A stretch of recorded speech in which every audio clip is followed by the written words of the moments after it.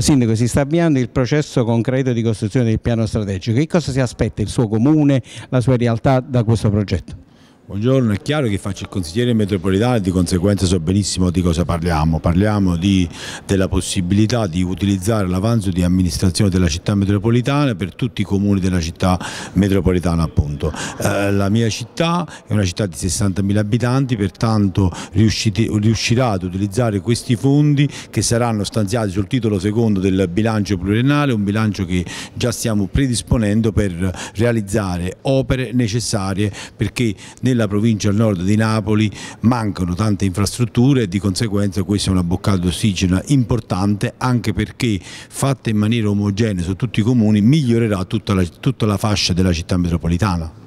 Ecco, se lei dovesse indicare ai suoi cittadini uno o due opere principali, importanti che pensa di poter realizzare grazie ai fondi della città metropolitana? Uh, Acer già sta lavorando per, per, adeguare il bilancio, uh, il bilancio, e il piano triennale delle opere pubbliche, sicuramente inseriremo la realizzazione di un palazzetto dello sport e la realizzazione di un parco pubblico, un parco pubblico di circa 50.000 metri quadri che faremo una fascia di verde anche perché Acer ha sempre bisogno di, di migliorare il proprio bilancio ambientale, di conseguenza utilizzare questi fondi per migliorare la situazione ambientale penso che sia una cosa utile per i cittadini dal punto di vista ambientale è utile anche perché avere un luogo dove andare a trascorrere un po' di tempo all'aperto e potendo essere anche riferimento di tutta la città metropolitana perché un parco di 60.000 metri quadri non si trova in tutte le città.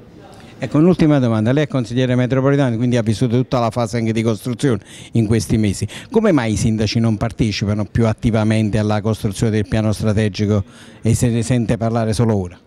Beh, vede, i sindaci oggi hanno tanti problemi, vengono assillati e assediati da tante problematiche del quotidiano e molte volte hanno difficoltà a programmare il futuro delle proprie comunità. Chiaramente molte volte eh, non si crede nei processi di partecipazione perché si pensa che poi non arrivino fino in fondo, mai come questa volta invece il processo di partecipazione è iniziato, sta andando a compimento, penso che andrà a compimento, a compimento entro maggio di quest'anno e penso che questo sia anche l'inizio di una nuova metodologia di confronto che potrà spronare e sicuramente avvicinerà i sindaci alla città metropolitana che la vedrà come eh, ente che ha la possibilità di risolvere alcune problematiche perché magari dopo la riforma della città metropolitana era visto come un ente quasi inutile. Inutile non lo è e lo stiamo dimostrando in questi giorni.